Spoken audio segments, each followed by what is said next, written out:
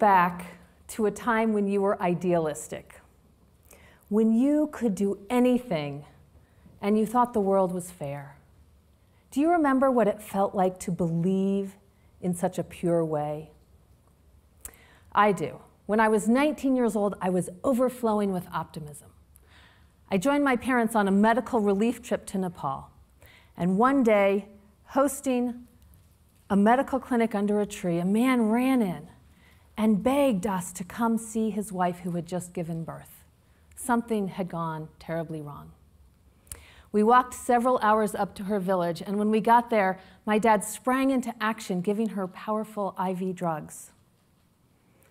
In the morning, we awoke to a small miracle. The young mother was sitting up in bed, nursing her baby daughter, and shyly smiling. As we walked back down the valley, I remember this incredible feeling. We had actually and truly saved a life and forever changed the story for one sweet family. Days later, we learned that the mother had died, orphaning her week old daughter. At this news, I wept and wept.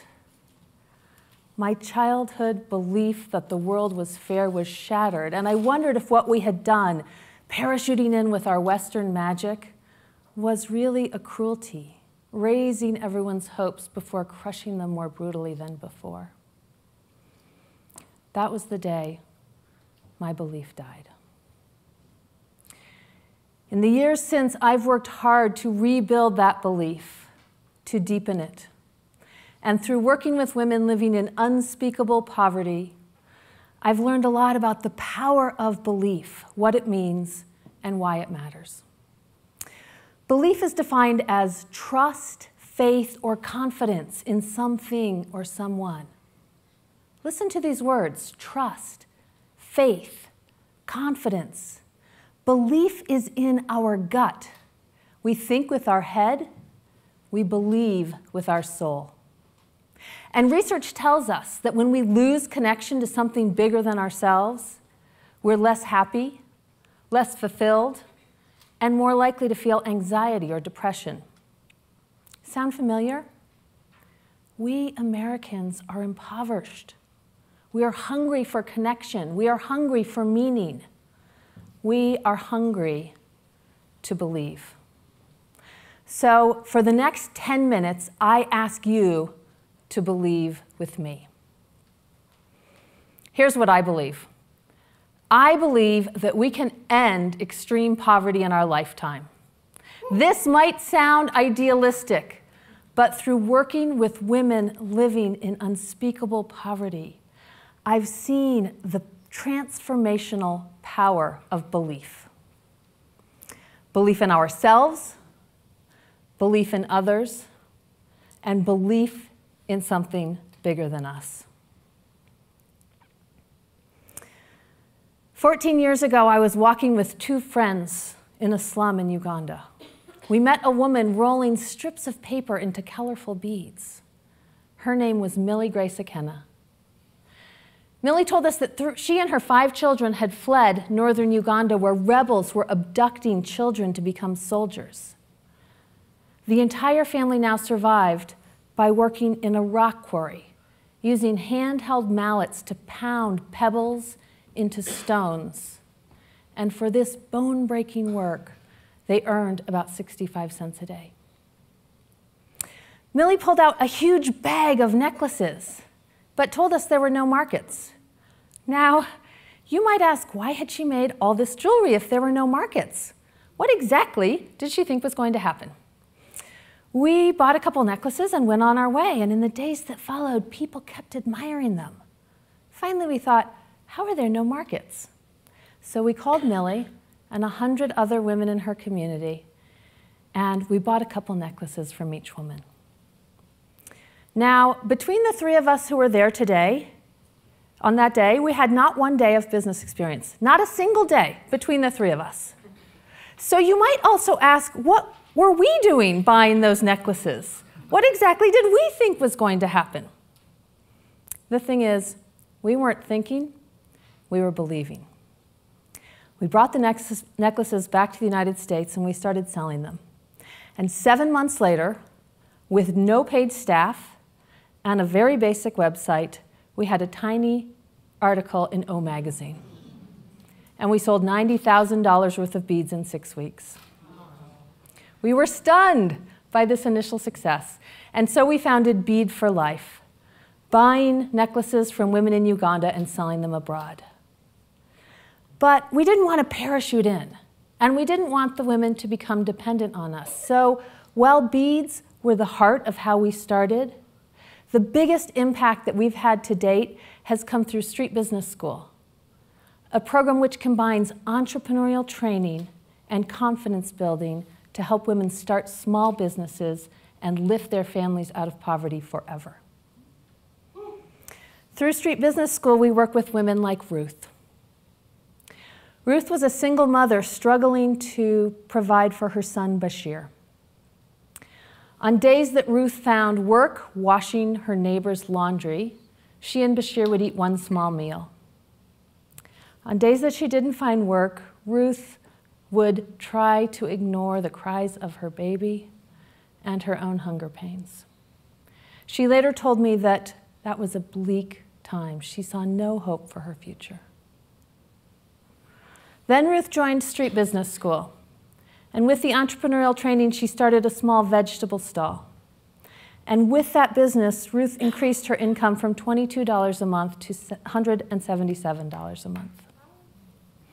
Through 14 years of working with women just like Ruth, I have learned that the biggest barrier to women starting businesses is not lack of access to capital, but lack of access to confidence. How many of you have ever had all the external resources you needed to do something and still not done it? What stopped you? The women we work with have been told their entire lives that they are worthless, and they've started to believe it. So, the most important thing we do in our program is to believe. We believe in women until they can believe in themselves. I asked Ruth the most important thing she had learned, and she responded, Obu Tenyoma, which translates not underestimating myself. Because transformation lives at the intersection of belief and opportunity. Once women believe in themselves, they take the entrepreneurial training and change their lives. On average, women in our program go from earning $1.35 a day. Two years after they graduate, they're earning $4.19 a day, which means they have risen above the global poverty line. They're able to feed their kids, send them to school, and get the medical care that they need. And as incredible as this change in material wealth is, even more inspiring to witness is the dignity of human potential. As one woman said to me, now I'm somebody. So we had this incredible program serving a small number of women in Uganda. At the same time, I knew that one out of every 10 people on the planet, 700 million people, is struggling to survive on less than a dollar a day. So, a small and effective program on one hand, a huge global need on the other. What you ask was the problem. The problem was me. I was afraid. I didn't believe in myself. Because, you know, it's really easy to run around the world and talk about how important it is for women to believe in themselves, as long as we're talking about other women. Three years ago, I summoned the courage and I did something terrifying. I said out loud and to the world that it was my intention to help at least one million women lift their families out of poverty through Street Business School. And then I immediately looked around and tried to put it back in.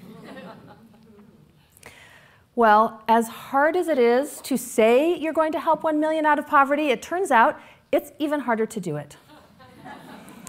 And the year that followed was the most difficult year of my life. For months, I lay awake in bed, feeling like I was failing as a leader, as a mother, as a wife. And so many times I thought about walking away. And every time I did, one image came to me the image of a Ugandan woman laying awake at night. But this woman unable to sleep because she didn't know how she would feed her children the next day. And that image helped me get through one more day, and one more day, and one day after that. I'm still scared, but I have learned that to believe in myself means to feel afraid and keep going anyway.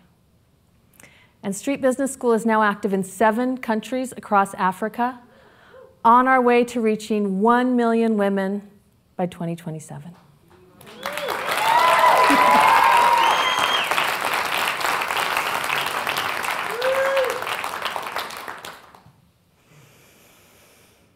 John F. Kennedy is a man who knew about the power of believing in something bigger than ourselves. He said we would put a man on the moon. When he spoke those words, nothing in science or physics changed, but our perception of what was possible was recalibrated. The impossible becomes possible because of belief. The good news is that belief is a choice. Belief is a choice. We can believe every day to believe in ourselves or not. We can choose every day to believe in people around us or not. And we can choose every day to believe in something bigger than ourselves that's huge and seems crazy. I believe that we can end extreme poverty in our lifetime and this is not idealistic wishing, but hard earned experience. And though I am still afraid, I am no longer paralyzed. So, what do you believe in? What will change in your life when you believe in yourself? What will change in the lives of those around you when you believe in them? And what will change in the world when we all believe that the impossible is possible and work to create transformation that can affect billions of people around the world? That power is in our hands.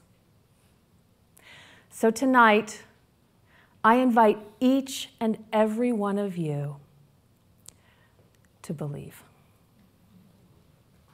Thank you.